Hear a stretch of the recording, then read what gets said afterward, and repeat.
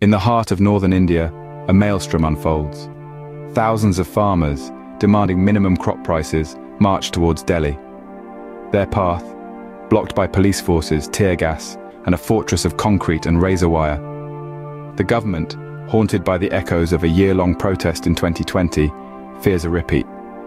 Farmers, forming a critical voting bloc, are not easily ignored. Prime Minister Narendra Modi's government, seeking a third term, is keen to avoid alienating them. Yet, their demands remain unmet, their voices unheard. Their journey, a peaceful trek across Haryana to Delhi, is marred by tear gas and plastic bullets. Their protection, wet sacks, clothes, and an unwavering resolve. In 2020, farmers held their ground for months, blocking highways, challenging the government, disrupting the rhythm of Delhi.